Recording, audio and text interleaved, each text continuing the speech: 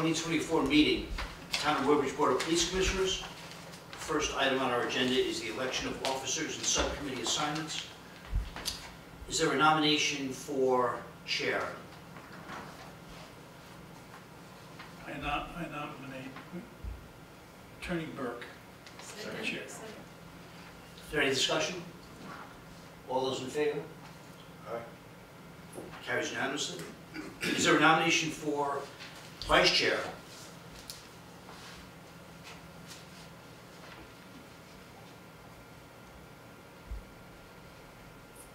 I nominate uh, Commissioner Esposito.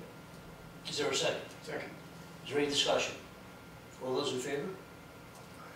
Aye. That carries unanimously as well. Um, There are two subcommittees, uh, Personnel and Budget. Um, Is there a nomination for the Budget Subcommittee? Um, In the past, it was, We had, Me- we had Andy Andy and Mika, okay, and then uh, Dr. Desir and Mr. Capel were for the uh, Personnel Subcommittee. okay. So the vacancy is for budget. Um, Don't we have to also appoint the, reappoint the other subcommittees as well? Not just the vacancy? Sure. Okay. Um, Would you be willing to make a nomination for the Budget Subcommittee? Yes, I, I would like to nominate Commissioner Esposito and unless he objects. I don't, I'm not sure. Westville. Commissioner Westerfeld. Yes. Is there a second? Second. Is there any discussion? All those in favor? Aye. Aye. Okay, that carries unanimously. And the final subcommittee is Personnel. Mr. Esposito, would you be willing to nominate someone Personnel Subcommittee? I guess I would. I'd like to uh,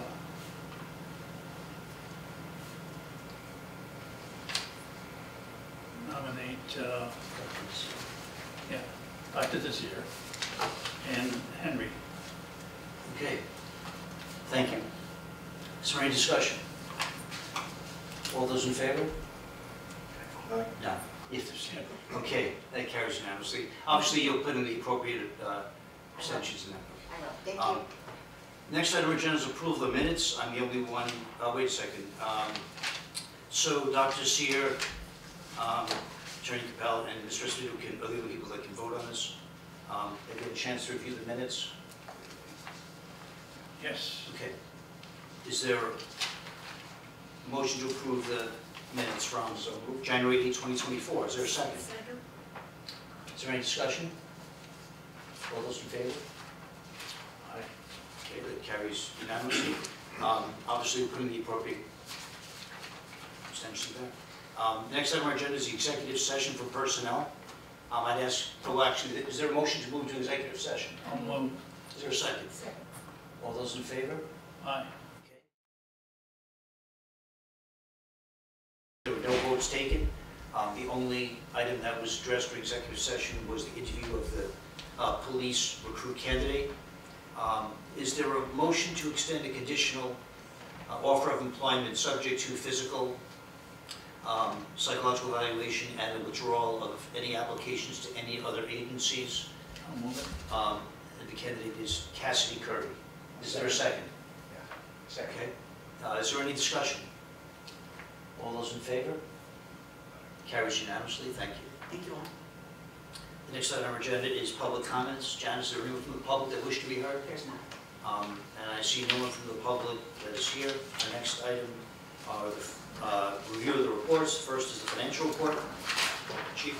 Yes, so we're just over eight months through the fiscal year, and as of last week, we remain on track, having, having used approximately 67% of our budget thus far. Um, Two lines that um, I'm sure you'll uh, draw attention to. The first one is police overtime line, that continues to be significantly impacted. As of last week, it was at 145.5%. But that directly correlates with our staffing level challenges as we've discussed over the um, past several months. And I'm anticipating that that'll start to level off due to the, um, the status of our three recent hires who have all um, now been included into the minimum manpower staffing. So that will help us with that. Um, And additionally, um, line 51800, the uniform allowance line, you'll see that one went over, slightly over. Um, And that has to do with, we had uh, four vacant officer positions to be filled with new, three of them just got filled. And um, body armor uh, replacements and three new officers that got body armor as well. And uh, we have a partnership with the government and the federal bulletproof vest um, award will be coming in the amount of uh, just over $3,400. So that'll be submitted, um, that was submitted when the vest arrived just a few weeks ago. And that reimbursement will be coming back to the town to help offset that line, to bring that, that, that back down. Other than that, unless anyone has any questions. So so for the, for the overtime, so we've hired three certified officers.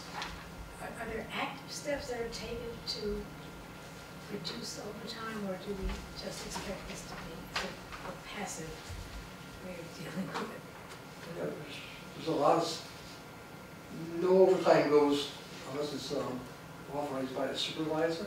But I think having these three new bodies, new officers on the road, that'll eliminate a lot of the staffing overtime that we we're paying just to, to cover the patrol minimum. That's where the bulk of it was coming from. um, Covering for manpower vacancies, that's, that's really what hurt us for the past six, seven months.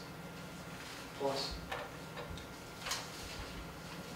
But the other issue we had, we- we had uh, people that were out long-term, had some long-term injuries, so we couple long-term injuries with the vacancies that we had, and we have minimum staffing levels per bargaining agreement, made it difficult for us to um, uh, have the appropriate amount of numbers of officers, the only way to do that would be to hire overtime. How are we doing with some of these long-term disability cases?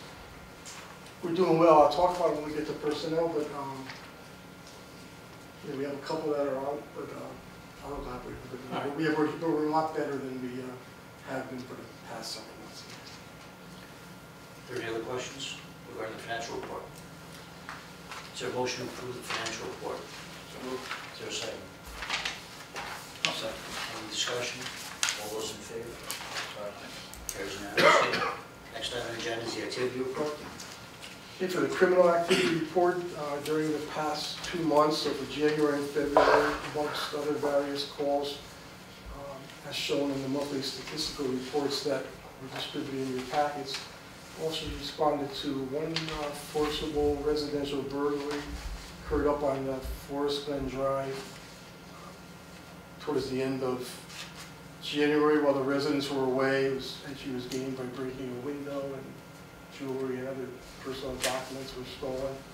Also responded to seven family disputes over the past two months, five of uh, which involved some degree of violence and resulted in arrest.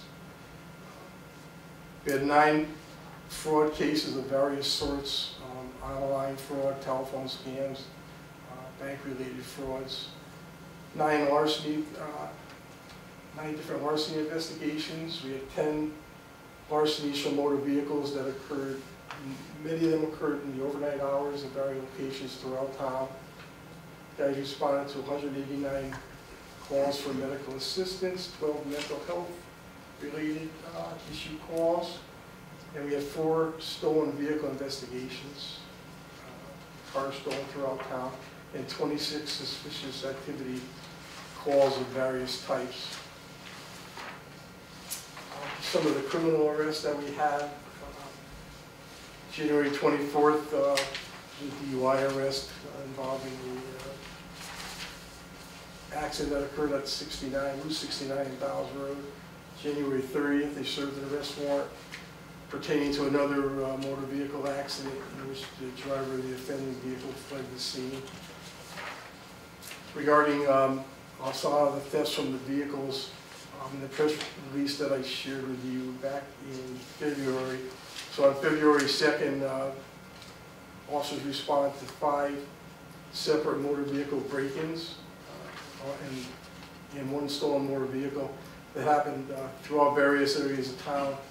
Uh, Broadcast a description of that vehicle and was later seen in West Haven and pursued up onto the, up onto the turnpike into Milford after the, the occupants had committed an armed car, carjacking using a firearm. Uh, Two juveniles were taken into custody. Our officers were able to investigate further the five incidents that we had, and they were able to make some arrests for the incidents that um, had occurred earlier in that day um, in our town. So that was related to the thefts of, uh, the theft of the vehicle and also uh, several of the thefts from motor vehicles that have occurred. Also, uh, during the month of February, they served four criminal arrest warrants. Uh, February 2nd, an arrest warrant was served for subject wanted for reckless endangerment, criminal mischief, breach of peace, for disturbance that was caused at a local res, uh, local restaurant back in December. February 7th, uh, they served a warrant for a DUI uh, as a result of investigation another accident that occurred in December. And they served two violation of probation arrest warrants in connection with the subject that was arrested uh, by officers for larceny and interfering with police um, in an incident that also occurred in- in December. As far as uh, the investigative services unit, uh, they assumed 13 new case investigations during the past two months. And as I pre- previously reported, over the past several months, they've been working with the Haven State's Attorney's Office on the prosecution of the second suspect involved in the 2021 homicide that occurred at the Pease Road Park. That was brought to a successful conclusion with a recent guilty plea, to which on February 29th, the suspect was sentenced to 35 years uh, incarceration. So that was a great uh, resolution of that case, and great police work and collaboration by every, everyone involved.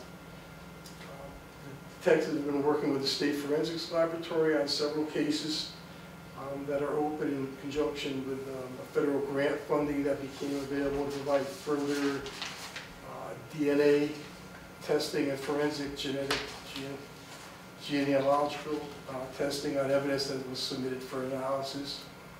And they've been working in conjunction with some of the neighboring police departments on a suspect um, that's involved uh, with several armed robberies that have occurred, one of which occurred at a local uh, gas station convenience store in our town. Additionally, over the past two months, they conducted 22 public fingerprinting requests, performed uh, processing and background investigations for 11 pistol permit applicants, and completed the background investigation process uh, for three police officer candidates, one who's presented to the board this evening. And that's all I have on the criminal side, and the uh, deputy chief will share some information on the uh, motor vehicle enforcement activity for the past couple months. During the uh, month of February, our officers made 84 traffic stops, which was the same exact number of traffic stops that were made in January. Uh, We conducted radar speed enforcement at various locations uh, 346 times. Uh, Deterrent traffic safety patrols, 336 of those during the month of February. There were 26 motor vehicle accidents in Woodbridge during the month of February, which is a 7% decrease of our January numbers. Our speed trailer was located at several different locations, including Johnson Road and Brookwood Drive, Johnson Road and Clearview Road, and Seymour Road and Rock Hill Road. These are um, roadways where we've gotten um, several complaints from residents. And that's the uh, traffic report. Regular speed enforcement, do those result in warnings, tickets?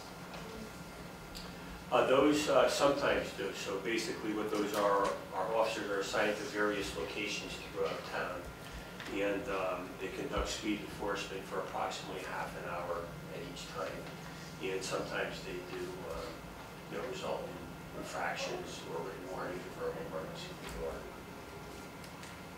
But there's, there, there stops. Their motor vehicle stops, yes. Motor vehicle stops originate from these uh, events, yes. We find that the use and application of the signs, the speed signs, are having any effect on any of the roads you put them on? Yeah, they most definitely are. Um, Where we, uh, where we put them on North Pease Road, Johnson Road, Litchfield Turnpike, um, while they're out and about, they're definitively making a difference. Unfortunately, once we remove them, we're back to uh, where we started. So we have to couple that with speed enforcement, which that's what we've been really focusing our efforts on um, areas in which we're receiving the complaints and where we're having a high volume of motor vehicle accidents. Um, You know, unfortunately, um, it's a primary complaint in town, is speeding vehicles. I noticed the one, I mean, uh, obviously I'm up and down Beach Road every day because I live right up Beach Road. And I'll tell you, when that sign is, every time I see that sign, I look at the speedometer. I mean, just automatic, like this area. And it's so easy to go.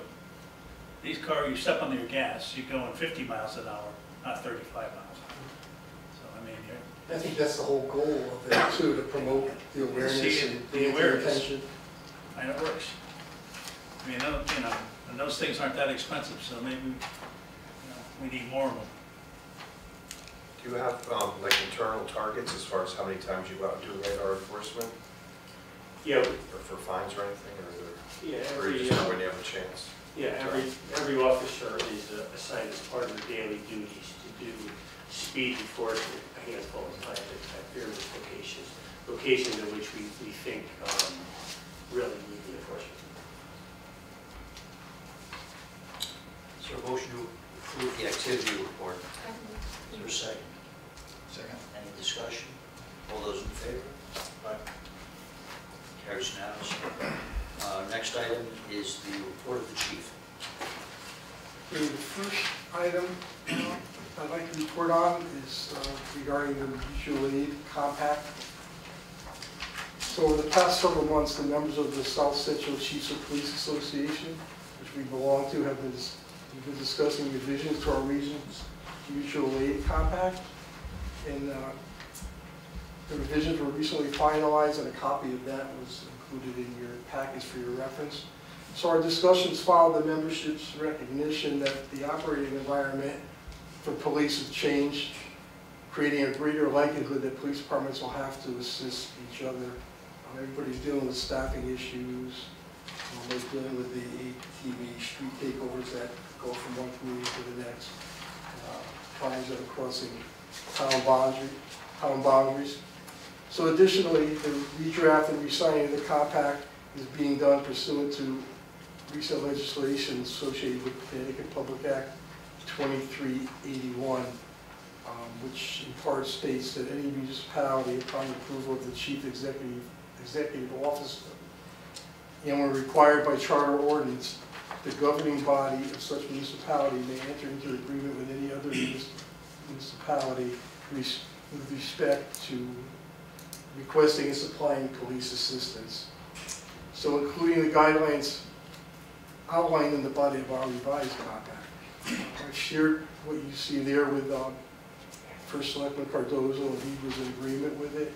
Um, I'm in agree- agreement with it. Uh, From what I understand is, so far, everybody, uh, at least half the the departments in our organization so far have gotten back, and the other ones are waiting to go before their governing boards, as I'm doing this evening. So as a final step in the process, I just need the approval of, um, of the board to move forward with that, and we'll sign off on it and get it back to South Central Chiefs of Police. So Mica has reviewed this? Yes, sir. And just to to clarify, so this applies to all municipalities in the south central region or neighboring? Um, there's like eighteen or nineteen, it's all the South Central region, yes. So we all buy, kind of by the same rules and.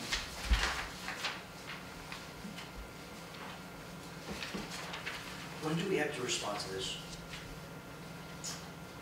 I'll swap it up to the next meeting because there's one aspect that's missing from this that I wanted to talk to Mica about. Um, So there are occasions where there are a number of departments that are asked to participate in police investigation. And when there's civil liability imposed based upon the conduct, this document doesn't address how that is handled.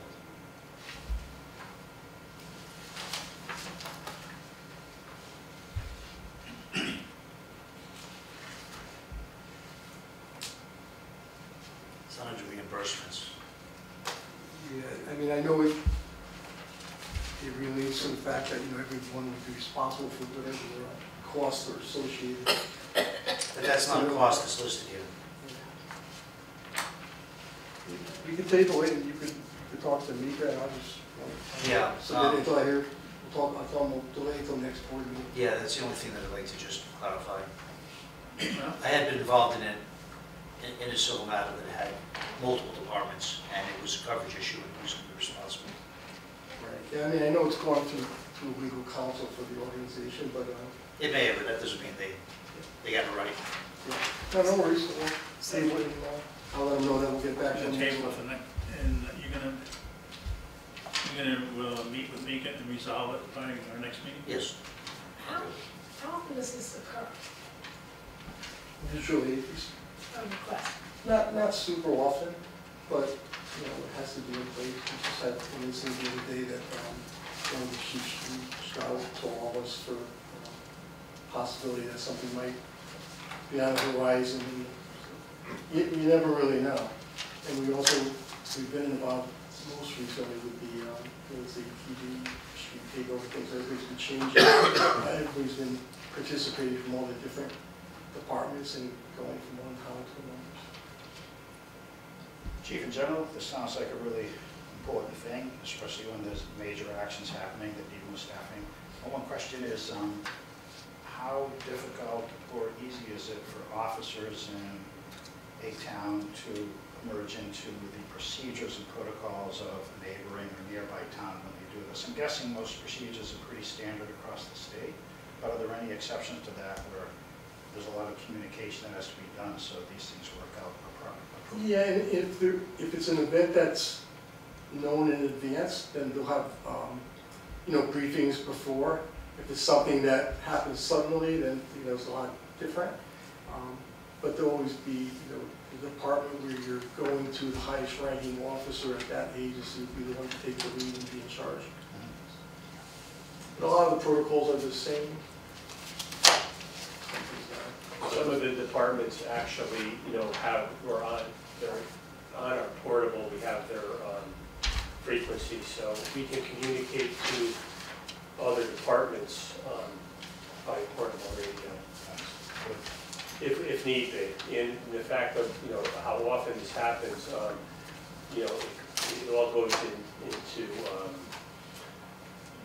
you know, certain times of the year where we're requesting, sometimes when we we only have two officers on the road, you know, we have violent domestic, and if there's something else happening, we may have to call Seymour or Derby or whatever to, to help us um, do what we have to do if we have you know, multiple things going on. So it is something I think that happens more frequently. So you have to execute this every year or some of the time period? Um, This is a new one, the one that they had before was called the Blue Plan, and it, um, it had been in, in effect for probably a decade or more. So now they realize that it's time to change it, this is a little bit more simplex. Um, The other one kind of required a certain number of people to respond, and everyone realizes now there's times um, when you don't have people that you can send, or a certain designated number of personnel to send, especially for smaller departments. So- this, once it goes into effect, it'll probably stay for a while, unless it needs to be modified or revised. Your next item is the uh, EDPG, correct? Yes, so the local emergency operations plan, uh, just an update on that, over the past year, and in conjunction with the Department of Emergency Management and Homeland Security, um, I worked on revising our town's local emergency operations plan. Which for all municipalities is mandated to be done every two years. The completed plan was updated to a digital format and now includes uh, new civil preparedness standards uh, submitted to the state uh, Department of Emergency Management and Homeland Security Office for review at the end of December. And in January, we received notification that it was approved and found to be in compliance with state statutory requirements. In conjunction with that, I also applied for a supplemental grant. Uh, It's called an Emergency Management Performance Grant. It's a funding offer that if we were able to get this done before December 31st and get it in and approved, the town um, receive a $5,000 stipend uh, grant award, so that should be forthcoming to the town. So that's all completed. And just wanted to make you aware of that. Are there limitations on the application of the grant money? Um, it has to be used towards different things, but for emergency management, it could be used towards the EOC, towards equipment, towards training, things of that nature. Yeah. And Tony, um, Tony manages that usually, so he's been very, um, very, uh, great assistance to us with, uh, where that's, where that money should go. But yeah, it works out, it works out. Chief, is this in reference to emergent situations happening in the community, or is this where police functioning is impacted by an emergency? No, emergency operations uh, could be a disaster or weathers, uh, severe weather event, almost anything, any kind of emergency that happens in the county. Thank you. Joe? He retired. I don't know. Who's the new town council? Um, It's someone from Berchem and Moses, I don't know the exact uh, Chinese name, I'm getting getting aware of that. Yes, they didn't name it, they didn't, they named it firm. Okay. No. Mr. Taylor? So the next, the next item was uh, the Connecticut uh, Department of Transportation grant that we'll be participating in. So our municipality was selected to participate in an upcoming Connecticut DOT distracted driving enforcement campaign that's being funded through a grant um, that came from the National Highway Safety Administration. It involves no funding match, so it's um, 100% fully reimbursable to the town for the cost of officers participating in the detail. The deputy chief um, is overseeing the administration of the grant, and we will be partaking in high visibility enforcement details on various dates um, throughout the entire month of April with the goal of decreasing crashes and injuries by promoting awareness of mobile phone use um, by our drivers throughout town. So that's coming up uh, starting in the next couple weeks. And our department was recently recognized by the Crimes Analysis Unit of the State Police for excellency in completing the full year of 2023 with no years associated with our mandatory NIBRS reporting. NIBRS, uh, it's an acro- acronym for the National Incident-Based Reporting System, to which local, state, and federal law enforcement agencies are required to collect and report data to regarding crime, regarding each crime occurrence within their jurisdiction.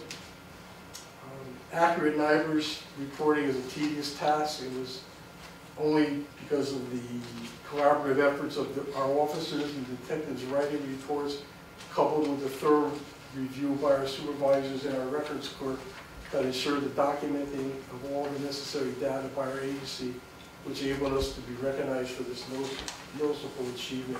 So uh, kudos to everybody from top to bottom of getting that done. I don't think um, that's something that, that we've gotten for quite some time now.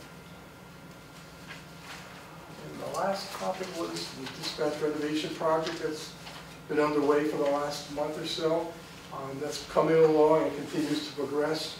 It's all sheet rocked, painted, the new flooring and carpeting is scheduled to go in Wednesday and Thursday of this week. And the new fixtures and cabinetry, cabinetry are going in um, after that. The dispatch uh, furniture consoles uh, are scheduled to be delivered on March 26th, and we remain on target for April 2nd, at which time dispatch will be moved from its temporary location down the back where we usually meet, um, and be up in front and fully functional, so um, that's all coming along. um, it'd be a great improvement, and um, if all goes well, we should be able to have our next meeting back at our former site there. And that's all I have under my reports. I would entertain a motion to approve the report of the chief. So moved. Is there a second? Second. Second. All those in favor? Now, just here. We have passed unanimously. Um, Next item are the personnel matters. The First topic was uh, the promotional exam for sergeant's position. So in our current budget for fiscal year '24, um, we had proposed and were granted funding to make a sixth sergeant's position. Funding for that was also included in our proposed budget um, for fiscal year '25 as a request as well. That position has been on hold for the past eight months, in part due to union discussions and issues, followed by our critical staffing shortage that we experienced for the past several months due to injuries, departures, and retirements. Having the sixth sergeant uh, will not only increase supervision, but will greatly reduce the frequency of occasions uh, when we are operating with only an officer in charge rather than a sergeant. So now that we are almost back to full strength with only the one vacancy remaining that um, was filled this evening, my intention is to move forward with that testing process. I discussed it with the finance director, and he had no concerns with it as the funding for the position, um, it's all in place. And I've also uh, discussed it with Dr. Sherwood, who is the director of South Central Criminal Justice Administration, and he's willing and available to conduct the promotional testing process as he has recently done for us in the past. Plan is that we'll move forward with that and try to get that position filled as well.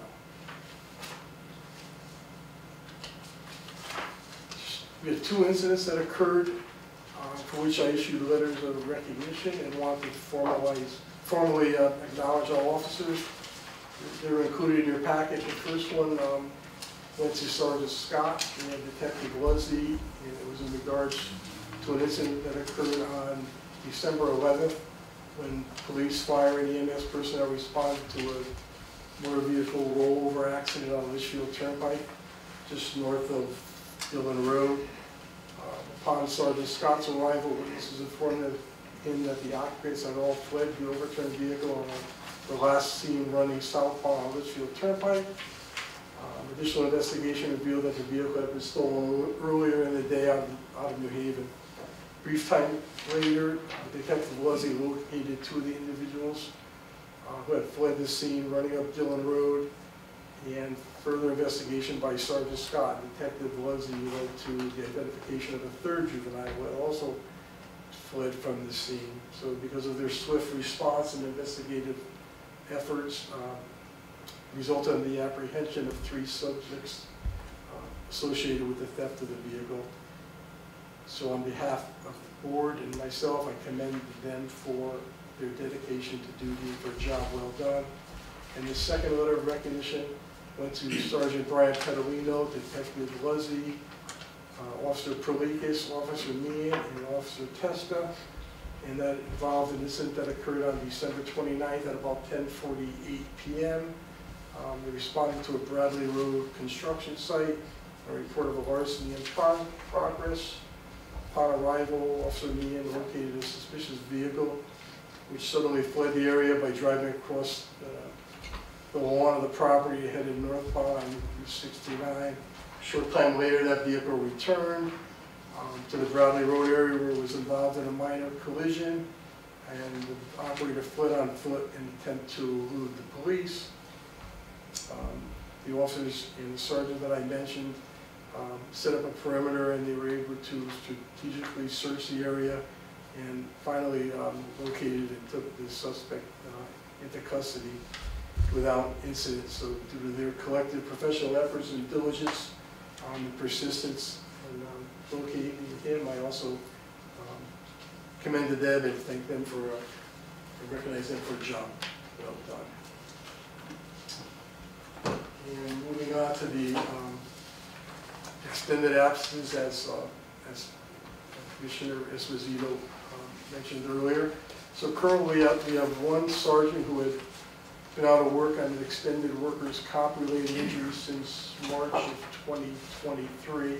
Um, He recently returned with clearance for light duty uh, pending further doctor's evaluation, so he's back on light duty, um, office work at this time. And we also have an officer who remains out on a workman's comp-related injury that started in November of 2023, and his return to work date at this point is uh, uncertain uh, pending further medical review. Additionally, just an update, our records clerk, who I previously reported had unfortunately sustained an off-the-job injury and been out of work since October of 2023, was uh, cleared, and she re- recently returned back to duty last month. And a supervisor who I previously reported to be out for a non-work-related medical uh, reason, he returned last month on light duty, and he is anticipated to return to full duty uh, at the beginning of April. And then just a quick update on the, our new hires, the three most recent hires, Officer Testa, Officer San Martino, and Officer Robinson. They have all successfully completed their necessary certifications and transitioned very well through their certified officer training um, program without incident. All three are now on patrol and included as regular staffing levels, where they continue to do very well and their addition has been extremely beneficial to uh, addressing our staffing challenges. And that's all for personnel. Next item on the capital and operating budget. Update. Frank, I have one question. Sure. The Letter of recognition, that was a Friday evening, 10:48 PM. You had five officers on this. It was shift change. It's That's a right before, yeah. It was right before shift change? Yes. Yeah, because you had five officers involved in that. So that, I mean, that, that, very convenient, Yeah, it worked worked out well. It's worked out well, okay. Yeah, it worked out well with that. It's right, 11 o'clock, Should change, so somebody coming in. Uh, Just an update on our capital and operating budgets. So on January 25th, we presented our fiscal year 25 capital and operating budgets to a joint meeting of the Board of Selectmen and Board of Finance. And, you know, thank you to Commissioner Esposito and Commissioner Westerfeld for their support that evening. Since then, the Board of Selectmen um, has met and they reviewed the various budgets and made their budget recommendations to the Board of Finance with any adjustments that they felt to be appropriate. Uh, The most significant adjustments made to our budget thus far um, included the elimination of our funding request for one additional patrol officer, the elimination of our funding request of uh, one of two requested new patrol vehicles, and reduction of uh, $25,000 of uh, proposed increase that we had made in funding for police officer overtime. The Board of Finance will be meeting this week, I believe Wednesday, March 20th, to further review the budgets recommended to them by the Board of Selectmen. And the Board of Finance uh, will make their recommended budget uh, after that, and that will be presented at the preliminary budget hearing, which is currently scheduled for April 25th at 7:30 PM. And then that'll be followed um, by the annual town meeting that is scheduled for May 20th, also at 7:30 PM. All right, so their recommendations they're talking about were from the Board of Selectmen. Yes. So they haven't had, so we haven't heard from the Board of Finance. No, later this week.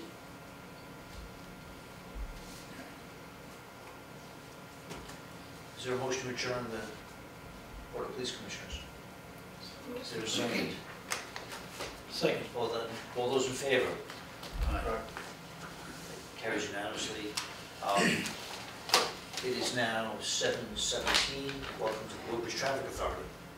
Is there anyone from the public that sent any correspondence? I see no one else in the audience. Um, Three items on our agenda. Um, We'll start with Ride for Hope. Okay, the first one is, um, our annual request from the Milford Prevention Council regarding their 12th annual Ride for Hope charity motorcycle fundraising ride. Uh, The goal of their nonprofit organization is aimed at reducing underage drinking and preventing youth substance abuse. A Portion of their 70-mile ride will be passing through our town on Sunday, June 2nd. The ride uh, commences in Milford at 10 a.m. and will be concluded by approximately 12:30 in the afternoon.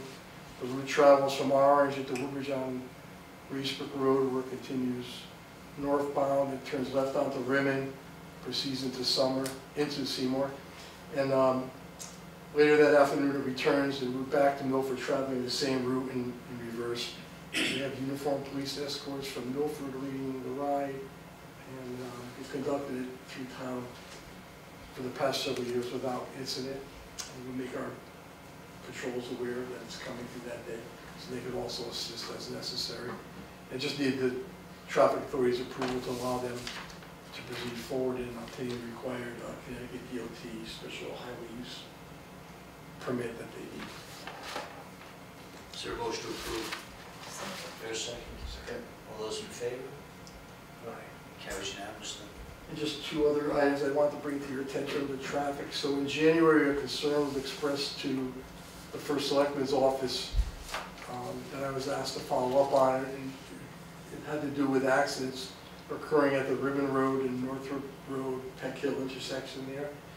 The offset angular configuration of the intersection coupled with the geography in the area that's comprised of um, declines from both the east and the west approaches, you know, agreeably makes it a challenging intersection to navigate.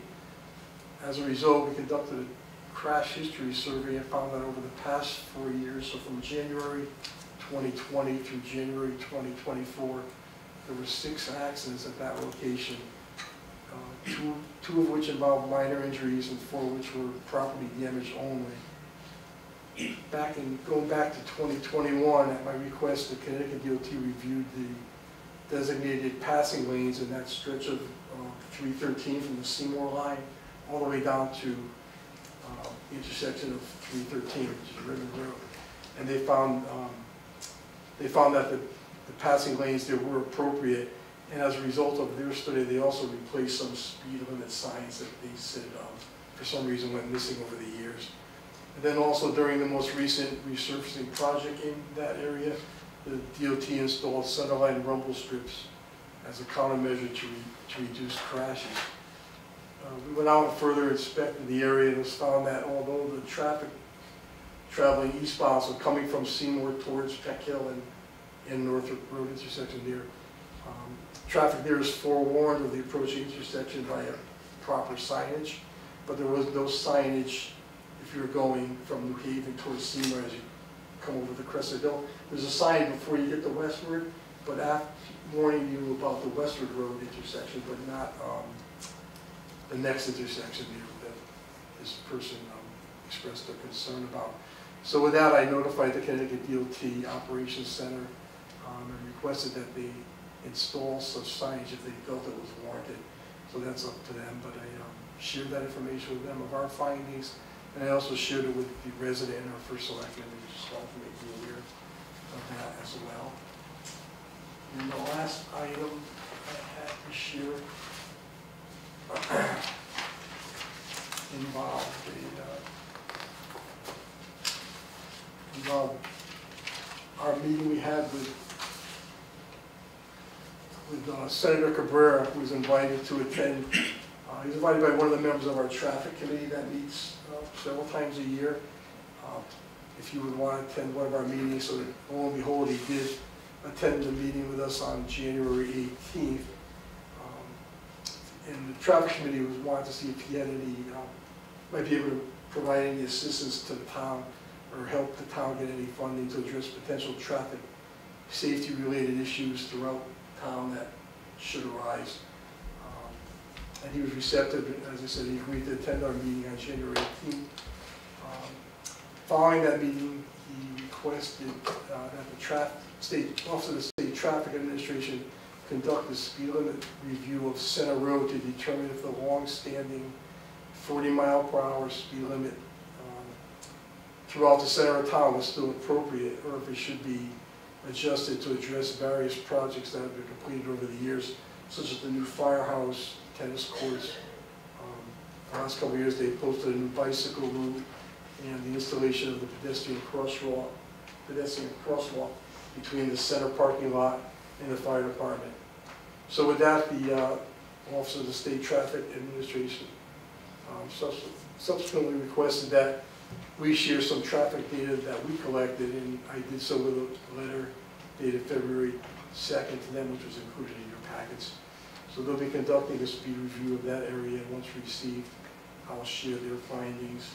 And they also reached out to the senator um, in conjunction with the Economic Development Committee's plan um, of the future for revitalization down to the lower business district. If there's any assistance he might provide as far as traffic, um, funds to assist with traffic uh, engineering and so on and so forth down.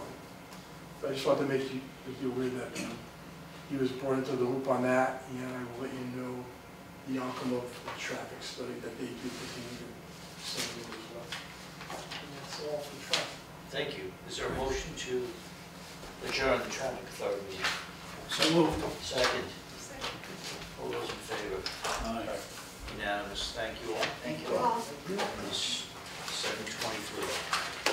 Good job.